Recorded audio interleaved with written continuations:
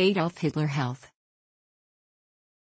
Researchers have variously suggested that Hitler suffered from irritable bowel syndrome, skin lesions, irregular heartbeat, coronary sclerosis, Parkinson's disease, syphilis, giant cell arteritis, and tinnitus.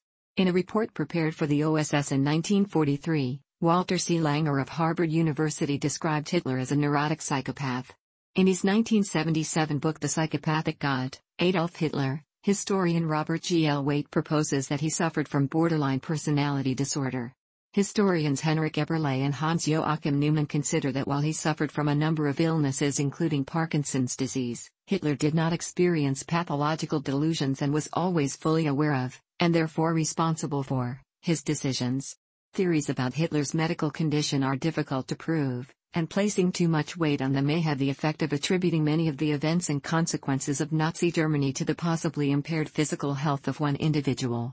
Kershaw feels that it is better to take a broader view of German history by examining what social forces led to the Nazi dictatorship and its policies rather than to pursue narrow explanations for the Holocaust and World War II based on only one person. Hitler followed a vegetarian diet. At social events he sometimes gave graphic accounts of the slaughter of animals in an effort to make his guests shun meat. Bormann had a greenhouse constructed near the Berghof, near Berchtesgaden, to ensure a steady supply of fresh fruit and vegetables for Hitler. Hitler publicly avoided alcohol. He occasionally drank beer and wine in private, but gave up drinking because of weight gain in 1943.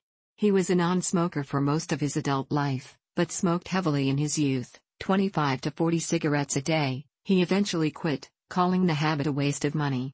He encouraged his close associates to quit by offering a gold watch to anyone able to break the habit.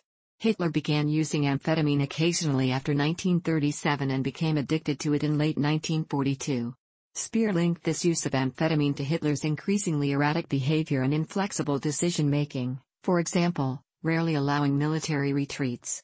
Prescribed 90 medications during the war years by his personal physician, Theodor Morell, Hitler took many pills each day for chronic stomach problems and other ailments.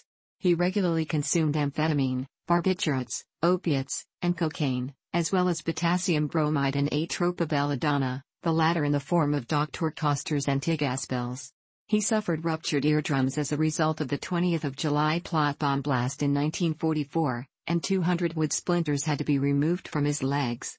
Newsreel footage of Hitler shows tremors in his left hand and a shuffling walk, which began before the war and worsened towards the end of his life. Ernst Günther Schenck and several other doctors who met Hitler in the last weeks of his life also formed a diagnosis of Parkinson's disease.